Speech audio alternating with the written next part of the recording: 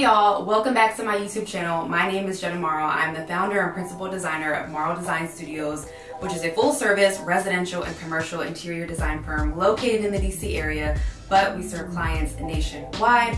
Welcome to my YouTube channel. It's a channel that's for my fellow home dwellers who want to design a home that they love and my fellow entrepreneurs who want to create an entrepreneurship journey that they are proud of. On this channel, you'll get design tips, tricks, inspiration, but you're also going to get really candid behind the scenes looks at my journey as an entrepreneur and interior designer.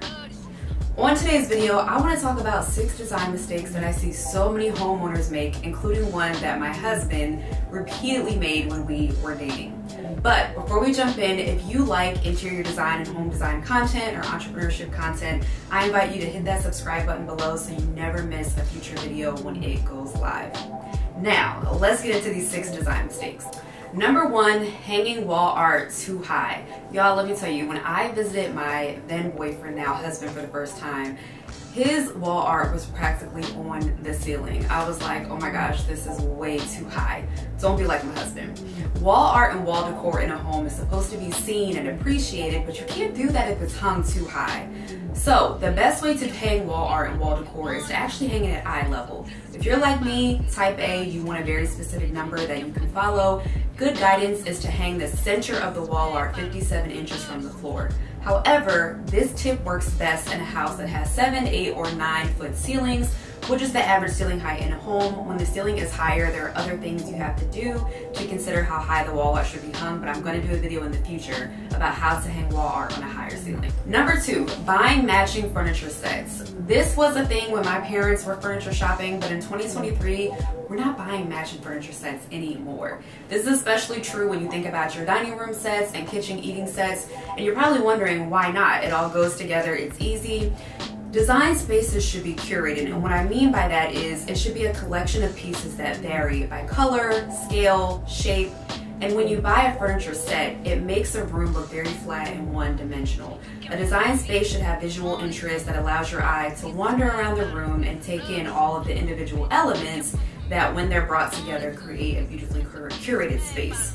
So let's leave the matching furniture sets in the past where they belong and start to get a little more creative and curate a space that consists of different design styles, colors, textures, different elements. The space actually looks designed. Number three, using the wrong area rug size and placing it in the wrong place. I'll do a longer video on this in the future, but for now, the point of an area rug is to ground a space. When you have furniture in a room that's not on top of an area rug, the furniture can look like it's floating.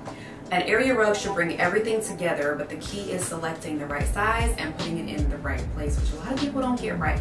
So to keep it simple, let's talk about a living room, and there are one of two rules you can follow when it comes to area rug placement and size. Rule number one, all four legs of your conversational pieces, sofa, accent chairs, all four legs of those pieces should fit on the rug. Or rule number two, the front legs of those conversational pieces should fit on the rug. Follow one of those two rules for a standard room like a living room or a family room and you can't go wrong. Number four, lighting a room incorrectly. Let me tell y'all, not all lighting is made equal. For starters, there are different light temperatures that cast different shades. There's soft white, there's bright white, and there's daylight. Soft white casts a yellow shade and it's, it, it's ideal for a space like a bedroom where you want that softer light put it on your nightstand lamp, or put it in a task light, like a reading light. Bright white works well in high traffic areas like a family room or dining room, living room. And then daylight, those light temperatures actually mimic the daylight. So it casts a blue shade and those are ideal in spaces that get a lot of natural light during the day, like a sunroom or a family room that is two stories high. The other key for lighting is using different styles of light. So a good tip you should follow is to have three sources of light in a room.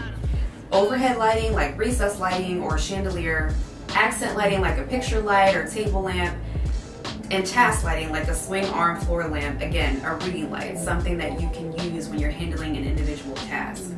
I'll do another video on this in the future, but for now, these are good tips to follow to get the lighting right in your home to make sure that you have the right temperature and to make sure you have the right styles of lighting in a room. Number five, designing a space without an aesthetic. This is a big one that happens with clients all the time. They'll want to hire us and say, I just need accent chairs and area rug, but then you walk into their home and the room they want us to design does not have one look and feel. The foundational pieces in the room are from so many different design styles. Now don't get me wrong, it's okay to mix one, two, maybe three design styles in a room, but you really have to know what you're doing. So if you aren't a designer yourself or you don't want to hire one, my advice to you would be stick to one aesthetic and bring it to life in the room. The best way to do this is figure out what design style you like and then find a store that matches that aesthetic. You like mid-century modern, West Elm's your place. If you like transitional, try Crate Barrel. If you like contemporary, try a place like TOV Furniture. Get your foundational pieces from one store and then find your accents at other locations. And your accents can be a different design style, but again, I highly recommend engaging a designer so you make sure you execute it correctly. But if you want cohesiveness in a room, don't mix a whole bunch of different styles. Try to stick to one, maybe two, and your room will look beautifully designed. Number six, overdoing it. I always remind my clients that you have to give the eye an opportunity to breathe in a room. What I mean by that is I see so many people if there's a wall, they want to put wall art on it. If there's a corner, there has to be decor there. I promise that's not the case. You want to give the eye an opportunity to breathe when you are entering a room. And so you have to embrace white space, or what I refer to as white space. And that means just leaving a couple areas blank, maybe leaving a wall blank, maybe leaving a corner blank. But when you overwhelm the eye by putting so much in a room, those small details and small elements get lost, often overlooked, and it can be just extremely overwhelming. Embrace white space, give your eye a chance to breathe, and don't overdo it. That's it for today. If you like this video, I do have more design content on the way, so hit that subscribe button below and you'll catch each video as it goes live.